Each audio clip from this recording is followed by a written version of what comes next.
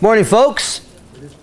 So uh, we're into final projects, and we will be changing the consulting schedule this weekend.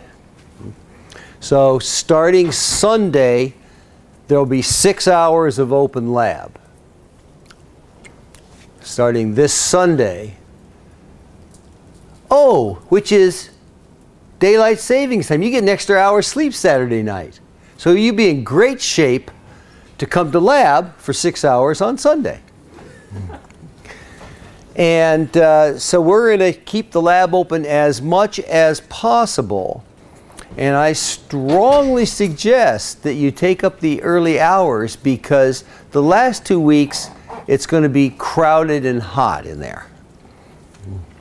So the more, the more you can front load, time in the lab, the better off you'll be. It's going to be like a ghost town in there this week. Mm-hmm. So, keep your eye out on Piazza for a new consulting schedule. It'll also be on the on the the web page, the class web page schedule. Oh, it says staff and schedule right here. If you go down there, the, the TAs are not going to change their, uh, their lab times, but the TAs will no longer, the TA will no longer, there will no longer be a TA who is um, consulting in the section along with the TA in charge.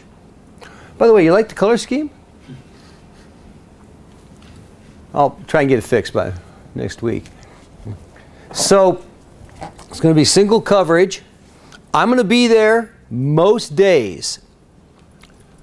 So I'm going to be there from about 9 in the morning or whenever somebody asks to open up until about 4.30. And I'll be there most weekdays.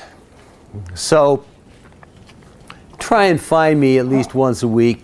I can often come up with uh, things that even the TAs don't think of. Uh, we will then modify the office hours schedule here to represent the, the, the new schedule. But, but the summary is it's going to be most evenings plus six hours on Sunday right now. We'll expand into Saturday in a couple of weeks, but my guess is there's not going to be much uh, call for a Saturday lab for a week or two. Any questions on that? Stay tuned for the exact times. First batch of orders went in this morning for parts. Remember, we have a fairly good stock of parts in lab, and you may want to ask to see if we have a part before you order it.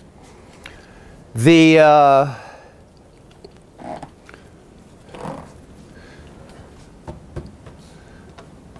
people were quite good about following directions. I didn't have to do too much uh, hacking around and editing with uh, uh, lists of parts. There are a couple of people that were way over in, in the amount of money. You could spend $20 total in five weeks on my account.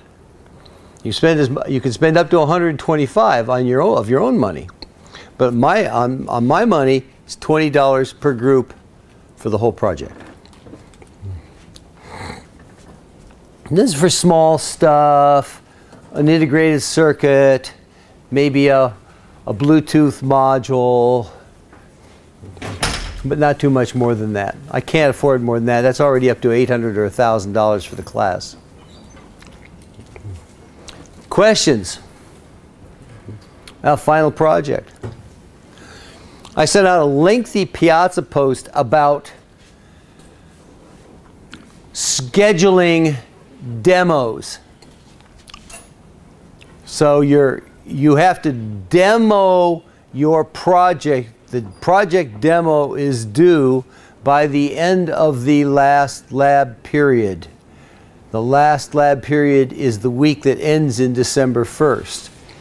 However, there is a no, no uh, penalty optional extension to the 4th, 5th, and 6th. That's Monday, Tuesday, and Wednesday, the first full week in December. If you choose to go into the fourth, fifth, sixth week, then you must sign up for a demo slot and sign up will be open at 1200 noon on December 1st. I usually get 20 emails in one minute. It's very entertaining. Watch the watch it fill up. So, uh, but this is the idea of noon is to give you all enough warning to uh, on the first to give you all enough warning to plan when you actually want to demo because you may have to work around finals that are also starting to be scheduled on the 6th. And you may want to, who knows, um, go early. So think about that a little bit before the first. Sign up for a time slot. Most people take the optional extension. A few people will demo early. Remember though that if you demo on the 6th, if you demo on the 6th, you can demo up until 4 o'clock. Your final report is due in final form at 11 p.m. that night. So therefore, that's, a, that's mandated by the university. Therefore, you must be writing while you're demoing and before. Because otherwise, you'll be typing your fingers down to the nubbins that day. That'd be so sad. So, so think about the, the scheduling, get ready for, for uh, demo in a timely fashion. Any questions on that? Talk more as time goes on. Budget is 125, as I've said.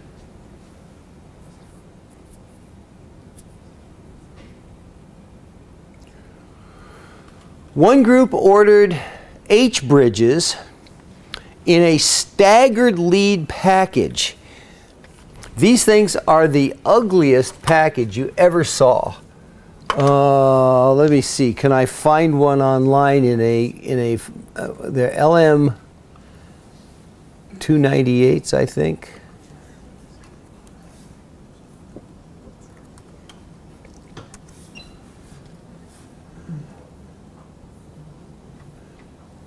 L298. Maybe that's what it is. Yeah, this, this bad boy. These are big, heavy H bridges, 46 volts, 4 amps. But look at that pinout. The pinout, you can't quite tell from the diagram. The pins are on 0.1 inch centers. Good. Because that fits into a whiteboard but the front row is offset 0.5 inches relative to the back row. Bad.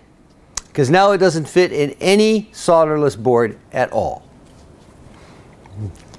So the pins are like, instead of being like this, they're a half a, half a pitch off. They're staggered.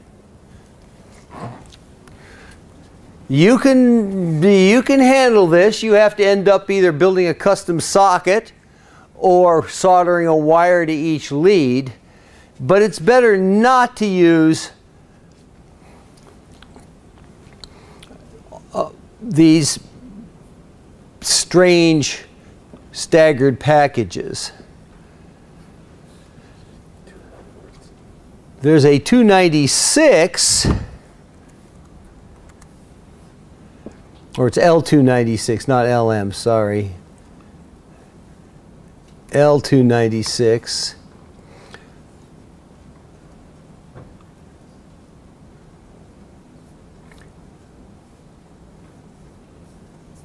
Not that though. I'll have I have some in the lab. They're, they're uh, H bridges in PDIP 14. They are good for a half an amp per, per transistor. So, and they're, they're quite easy to use since they're in PDIP. One group specified a leadless accelerometer Don't do that, folks. This ball grid, it's cheap. Don't do it. You can't solder it, you can't handle it.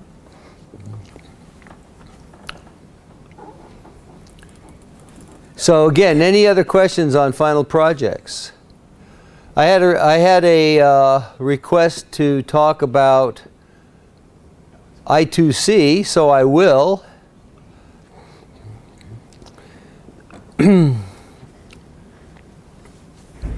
I2C is meant for short distance communication between integrated circuits on the same, same board. It uses a, it's a synchronous protocol. It uses a clock line and, a, and one data line, which is bidirectional. Handles all of the data.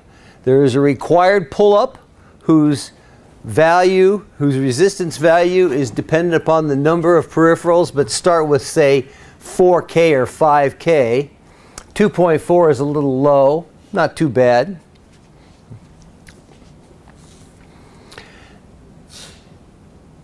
And the bus has an electrical protocol which is unusual. It is open collector, that means there is no pull-up transistor on the output.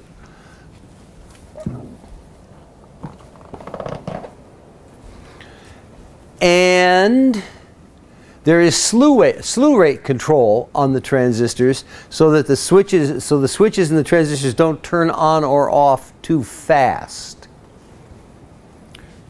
So they so the edges are controlled presumably to cut down on interference with other protocols. But this does limit the speed to about 400 kilohertz, which is deathly slow compared to SPI. On the other hand, as we'll see in a minute, because the bus data includes the address, you can have up to 128 different integrated circuits on the same I2C bus, whereas you cannot do that with SPI. Now, this is slightly misleading because each of the chips that is on the bus has to have a hardware defined address. Lots of companies set the address to 000. Oh, well, that sucks because now everything you try and hook on the bus has the same address and you can't do it. So what'll, what'll often happen is that of the 7-bit address, four bits will be set and, and not changeable, and then maybe three bits will be settable to one zero, so you can put up to seven devices of the same kind on the bus. Why would you want to do that? Well, let's say you wanted a IMU on your wrist, your elbow, and your shoulder. It would be nice to give them unique addresses. Let's say you needed a ton of, of static RAM, I2C static RAM or non-volatile RAM. Maybe you need to use eight different packages to get as much RAM as you need. It would be nice to address all of those. There are, way, there are ways around this limitation. But when you use those methods, it starts to look more like an SPI chip select line. So there are there are some limitations on the addressing. I don't think anybody ever really puts 128 devices on the bus, but you could put five or six or eight.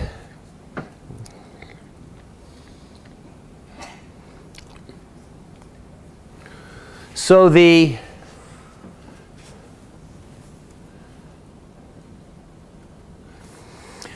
bus is uh, bidirectional. I said that. There's a master that always produces the, the clock. And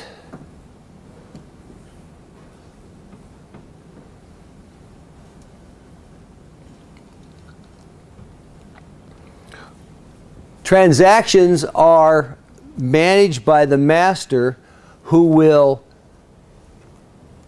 address a slave, address a peripheral, and then ask for data or send data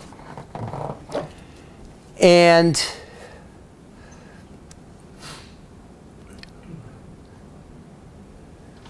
the bit pattern that you transmit can get a little obscure, but I'll go through that in a minute.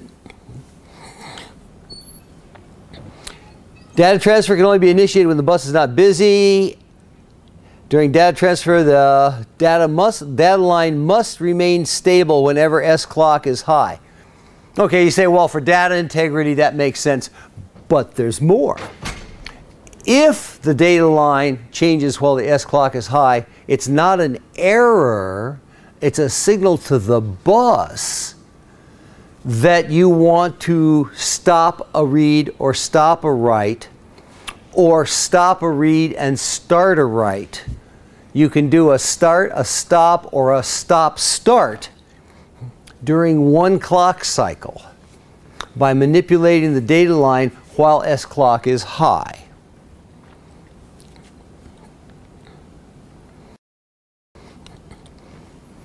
So a start condition will be a drop in the data line while the S clock is high. That says I'm starting to send. Then uh, data or address valid while, while, the, while the clock is high.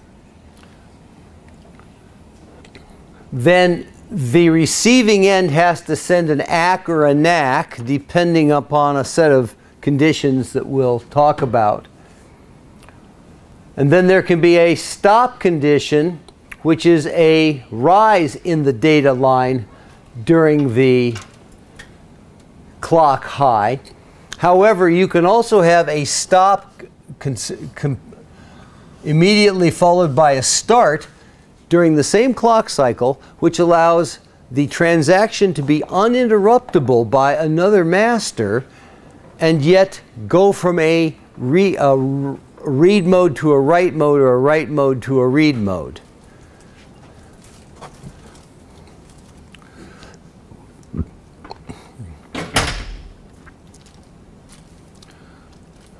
So, as an example, this is a protocol for a serial EEPROM. So this would be uh, random access memory, read-only random access memory. And what you would do would be to send a start bit, then an address, and in this case the top four bits are, are set to 1010. There's three addressable bits. And then the last bit the eighth bit in the address is the read write bit. So the last bit here says that this is going to be a write. Then the slave sends back an ACK saying, Yep, I got the address. Then the master will send a I got to figure out why I can't do this update. I don't have enough permissions. But I don't know who does. So uh, then, then the master sends a payload byte, which will be the EEPROM address high byte. This was the bus address of the device. This is the internal EEPROM address you want to read. Then it sends the EEPROM address low byte, there has to be an, a NACK in each of these positions. Then the data byte is going to be sent back from the slave to the master. So we have to go from write mode to read mode. So we're going to do a restart, which is a stop followed by a start going to send the bus address again because the first byte of a, after a start is always the bus address of the device. then at that point, the slave sends an ACK, and then it sends the data byte, and then the master sends back a NACK. Then the master sends a stop, at which time the system becomes idle. I would say that getting the message structure right for one of these devices is the hardest part of getting the I2C running because every single chip has a different protocol. You're always, the high level, the I2C protocol is always going to be an address with a read-write bit followed by a read or a write, a write of data. But what the contents of that data is depends on the integrated circuit that you're hooking up. And again, I would say it's about a person week's work to get that message formatting correct. So, if you can find an example that makes any sense to you, use it. There's some details here of what this protocol does. There's a clock that has to be set and the the formula is obscure enough that I always just use the table. So if we're going for a 40 megahertz system clock and we want a 400 kilohertz uh, I2C clock, then we set the BRG to 20. No, C2. We set it to C2. Now, interestingly, in 2015, the, uh, there was a bunch of projects that used I2C. The Balance Bot, the Balancing Robot project, set up an I2C for the Invents, InvenSense MPU 650 IMU. Who ordered a 6050? Somebody ordered a 6050 today. And you're really going to want to look at this project because they wrote, they wrote a nice package to support that particular integrated circuit, which will cut your time down from a week to a day. But if you're not here, that's okay too. And the Blimpo project, so they, they built a little platform out of foam board, had three fan motors on it, CPU and an IMU. And as the board tilted, the fans kept it level. And also, this thing was suspended beneath three one meter balloons. How did they get the three one meter balloons the, from the mall to here? Well, it took two trips in their Datsun, but that's okay. Anyways, so they were floating, they were flying this thing around the lab, taking up a large part of the lab. And the result was that they could navigate this dirigible around the, around the lab rather accurately because they were using the acceler 3D accelerometer to get the the axis or the, to keep everything level and, and, and the thrust in the right direction. It, also, interestingly, it worked by accident. they They inlined, inlined all the codes, all of the code for this, but I went through the I went through the code and the, they set the baud rate to 9600 as if it was a serial modem. And it should have been it should have been C2, not 9600. But it turns out because of the bit length of the register, the value wrapped around, it was only an 8-bit register, it wrapped a hexadecimal 80, which happened to be in the useful range of rates for that particular integrated circuit. So this worked by dumb luck.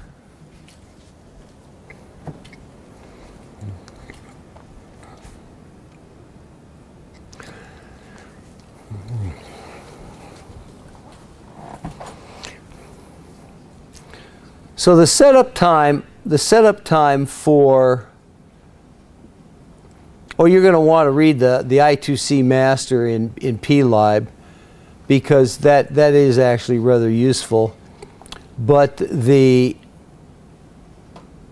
let's go to appendix self-balancing robot. This is a nice robot. It, uh, by the time they were done with it, it would stand up and, and balance for, for uh, minutes at a time. But down in Appendix A, which of course you're going to generate also,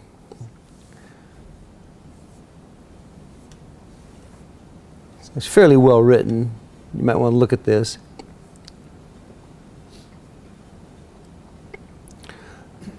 Your Appendix A, your Appendix A is going to say, I do allow or I do not allow my project to be on the website. In, in 2015, I did not require this because Cornell did not require this. Now Cornell requires that you sign a release saying that we can put your project up on the website and embedding that release in the web in the in the web report uh, is apparently good enough for the lawyers. But we have this little thing called I2C helper, which sets up the, high the I2C for the 6050 IMU and encapsulates all of the the functions so that you have I2C and I2C read and I2C write to help make this a little cleaner. And there's a bunch of low-level stuff that help make it work. But you're going to want to go through this as an example of a well worked out I2C system. Who's going to use I2C? For what? I should uh, know. Bluetooth. sensor I sent you some. Let's see. The sensor, it was a, oh, it was the humidity and temperature sensor. Yeah, there's a humidity temperature and a um, luminosity sensor. And so you're going to have to figure out how to read back three values from three different registers. Uh, but there's not too much setup to do on it, probably. Hopefully, it's just reading, not reading back. Right, hopefully it's just reading back. On the other hand, somebody asked for a I2C Bluetooth module. And I suspect there's quite a lot of setup to do in that. What, what else did people ask for? Compass sensor, reading. Compass sensor. Did you ask for that today? Okay, good, because I don't remember that one. What else? Anybody used I2C before? And what did you think about the, the process of developing code for it? Uh, we use it for an accelerometer for a quadcopter, and the, the hardware address was kind of a tricky part that we were messing around with for a while. But we, we got it after a couple of days. Only a couple of days? Yeah. How many people working on it? Two.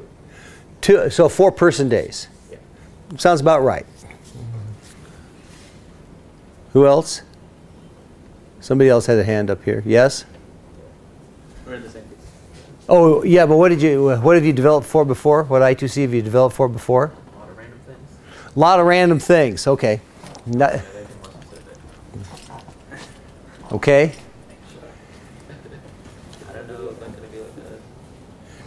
It's uh, I find it an annoying protocol to deal with, but that's partly personality dependent, probably. So,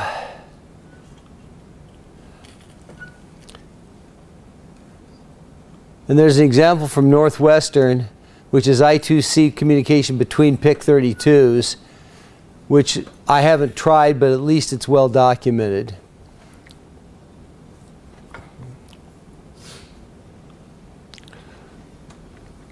I did get serial communication completely running to the big board this morning um, with simultaneously reading and writing the port expander, the TFT, the DAC, and the serial port. So it's all compatible. However, you have to be a little careful with a couple of things. The DAC is using SPI2 in an interrupt service routine. The port expander is using SPI2 in mainline code. So if you happen to be, if the port expander happens to be in the middle of an SPI transaction and the interrupt fires, what happens? Oh, it's not good. The SPI data from the transaction that's already started gets thrown away by the interrupt service routine, and then both fail. The interrupt service routine fails to write a value, and the, and the port expander fails to recognize what the heck just happened because it's asynchronous. So the result is that you have to produce a critical section in your code when you're reading or writing the port expander so that the interrupt service routine cannot happen. You have to turn off that interrupt for the few microseconds necessary to read or write the port expander. Then you can turn the interrupt back on again and hopefully you will only have missed one interrupt or maybe none. Secondly, there's another dependency, and that is that the port expander wants the SPI in 8-bit mode. The DAC wants it in 16-bit mode. That means that both the interrupt service routine and the DAC and, and the port expander, when they get a chance to execute, have to wait until the last transaction is done then switch the mode from 16 to 18 or 18 to 6, 16 bits, then do their thing.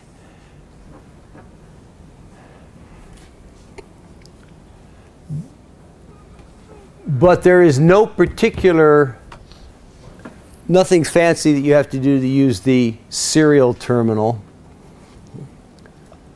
Just the interaction between the, the, the DAC and the and the port expander. So the documentation on using the peripheral stuff will be will be here on, under serial console, port expander, DAC, TFT, and so forth on the on the dev, dev ports page. As soon as I can get it up. The uh, my day has been a little chopped up, so I haven't gotten the code linked up yet. The only other thing you need to make that work is to go to the UART page and notice that a, mo uh, a module is required here, a cable is required that goes from the port pins on the big board to a USB connector on the PC and in fact, inside this blue housing is an FTDI serial to USB adapter. So this plug makes the UART look like a COM port on the PC.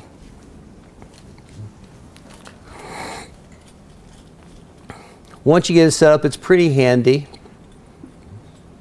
I might change the, yes? Uh, do you have one of those uh, that we could like use if we like, like we ordered one we haven't gotten in yet? Do you have one of those that we could like play around with? Yeah, I've got a few of them. The ones that didn't get stolen last year.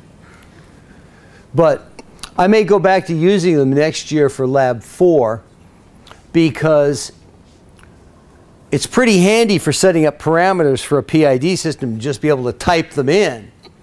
And it's also a, a useful model for interacting with a microcontroller the serial port is a useful way of interacting with a microcontroller that I think needs to be talked about. I tried to do it this year without it, but I think it needs to be talked about, so I'll bring it back in next year. Probably.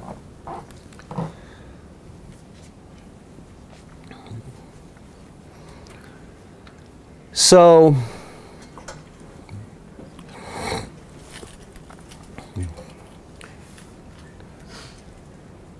How many people want the lab open tomorrow morning? Okay, you gonna be here tomorrow morning? All right, I'll, I'll open up. I'm shocked.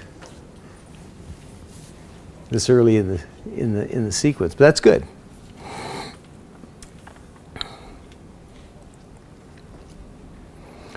Charge time measurement unit I haven't talked about. It's pretty well documented in the in PLIB and here. And probably in, in terms of final projects, what people would want to use it for is a capacitive touch interface. You can use anything as a as an interactor with this. You've probably seen pictures on the on, on the web someplace of people making a eight pianos, bananas into a keyboard where you touch the banana and it plays notes. That'd be an that would be a, a, a system which is using the capacitance of your body to to trigger an input. Most people are around 30 picofarads or so, so you have to be able to measure a fairly small capacitance. And the CTMU, the charge time measurement unit, will do that directly on the, on the microcontroller. So all you need to make an interactive contact with the microcontroller is a wire coming off that you can touch the end of, and then you become the switch. You don't have to be grounded. In fact, you shouldn't be grounded. You're just a big floating capacitor coupled to the universe at large. So, um, you may want to use the CMTU if you want to make a, a, a touch device of various sorts. We've had people do touch pianos that way. Real-time clock is useful if you want to be able to shut down the CPU and still keep time. To shut down the CPU means turn off the CPU in idle mode turn off the clocks in sleep mode. So you can't keep time using the master clock in sleep mode, but you can keep time using the real-time clock, which has a separate oscillator running at 32 kilohertz. Because with CMOS, current use is proportional to toggle frequency, to clock frequency, going to 32 kilohertz, drops you down into the microamp range for running the real-time clock. And in fact, the real-time clock unit can sit there and tick along at a microamp or so and can pull an interrupt to wake up the main CPU once a second or whatever you want. So this is quite useful for, for, low, for low current operation which is talked about more here, power management. Um, I could talk about that more if you want to. But one question is then, what more do you want to hear about? If we, if we, if we, if we stop lecturing and go to lab, I expect to see you in lab. It's not optional. Yes. If we want a second PIC, should we build a small board for it? This thing? If you want a second PIC, build a small board. if you want, there's no reason to use the big board in the final project. You don't get to keep the TFTs. TFTs are mine. You can keep the board, but you don't get to keep the TFTs. And you may find that the big board is just not appropriate for, for anything for what you want to build. It's too big, it's too clunky, it takes too much power. It takes a lot of power because of that TFT. 100 mils, 200 mils, something in that region. If you run the CPU on the small board, you'll run about 30 mils. Small board is will take you minutes to build. You don't have to put a header on it, which means there's no cost of the header. Header, headers are five cents a pin. If you use the big board, you have 65 pins on there. That's, or is it 10 cents a pin? What did I say? Let me look at that.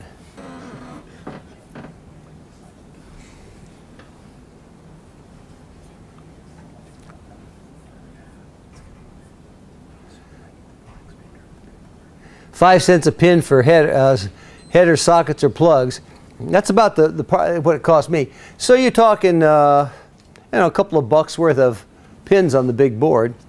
You probably are going to want to strip it down quite a bit depending on what you're going to build, and therefore it makes sense to build a small board or two or three small boards. The, in the cost breakdown, the whiteboard is like a breadboard, right? Solderless board, whiteboard is is is each one that is in your final design is six dollars. Yeah. I'm pricing this in such a way to encourage you to solder for a couple of reasons. It's more reliable and you can take it with you. It's on a whiteboard, I want them back.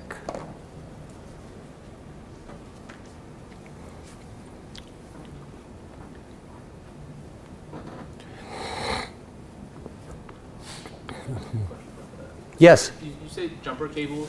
I'm guessing those are the ones with like the, pin headers on either side. Any anything that's terminated on the ends is, are 10 cents each, Right. Which is about the actual cost. I didn't see wire anywhere. There's tons of wire in the lab. I, I mean, like pricing wise, is there? Is there? Wire's free. Okay, great. Resistors are free. Cool.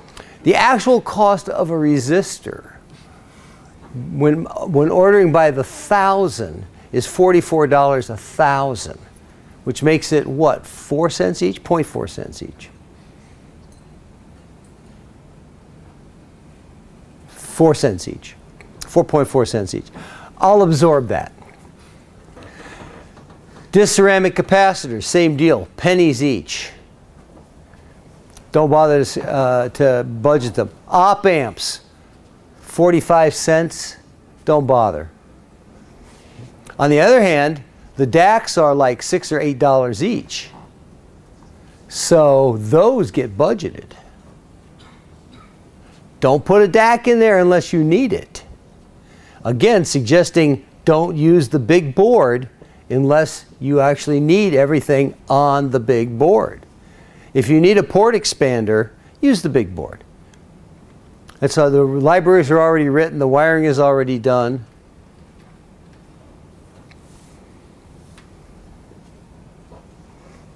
But if you're going to hook a radio to the microcontroller and that's it, don't use the big board. Yes. Do you charge for the small board, or is it just like five dollars for the PIC and small board altogether? What did I say here? Custom PC board. Oh, that was the, the custom PC board is the big board. That's actually a little less than it costs. I'll, I'll, I'll have that for the small board. How's that? Okay. Do you charge for the sockets on the small board? Oh my God. Well, it says charge for the sockets.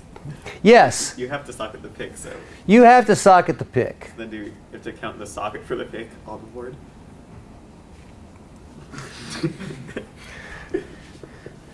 You build the board, I'll give you the socket. Okay, cool.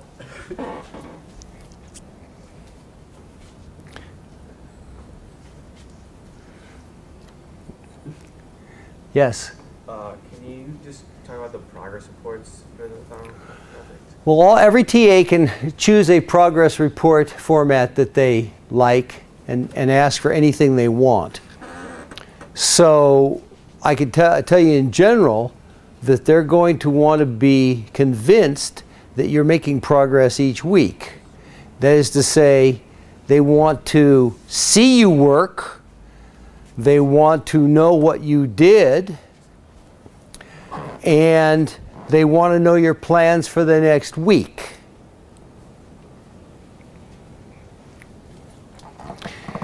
There's going to be a sanity check in about a week and a half from now to say, are you making progress? Do you think you what you thought you could do, you do you still think you can do? In two and a half weeks from now, or about at the end of week three, there's going to be a do or die cutoff. It's going to say, if you haven't made progress on the project, you are choosing a new project. All right, if, you, if, if it's too hard, you're cutting it loose and going for a new one. All right, scale down, simplify, maybe get forced reassignment. But so we want to see real progress by the end of week three to convince us that you can do what you said you could do. Because if you only have two weeks left, you can probably still pull something out. When it gets down to one week left, not so likely. I have seen people do it. They don't look very good or smell very good by the end of the next week, but yeah, okay. But you don't want to do that. You want to sleep. Sleep is good for you. Um, so about about two weeks from now, I'm going to ask you a bunch of hard questions in lab. Is this working? Is it not working? What do you have to simplify? Was doing optical recognition of iris patterns really a good idea? Uh, you know, that kind of thing. What else?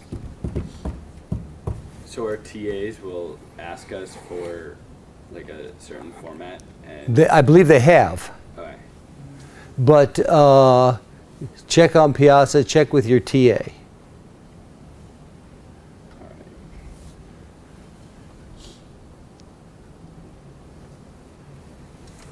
Right. Some TAs will say, I just want to talk to you in lab. Some TAs will say, I want it written the night before the lab. It could be anything that the TA wants.